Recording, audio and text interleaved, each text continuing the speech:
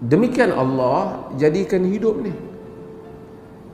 Sebab itu orang-orang yang berjuang, yang masuk ke medan perjuangan, yang mengambil risiko, dia merasai manisnya makna berjuang dan mempertahankan prinsip.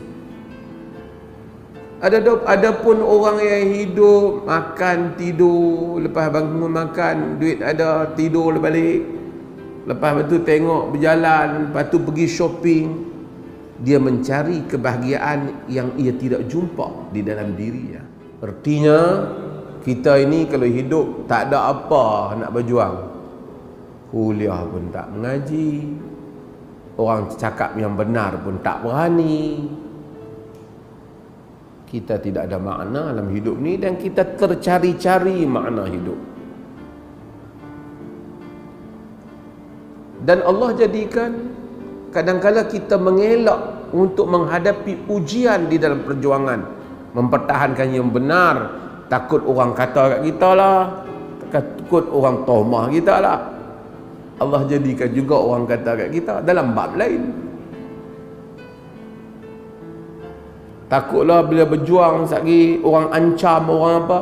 Allah jadikan juga ancaman untuk kita dalam bab lain. Perkara yang lain.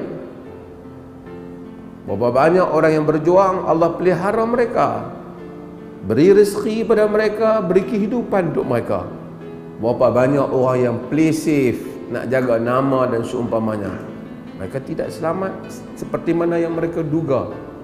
Tidak. Memang mungkin mereka selamat daripada diancam dengan tuduhan-tuduhan kerana mempertahankan prinsip beragama dan seumpamanya mereka dituduh dalam perkara-perkara yang lain mereka disibukkan dalam urusan-urusan yang lain.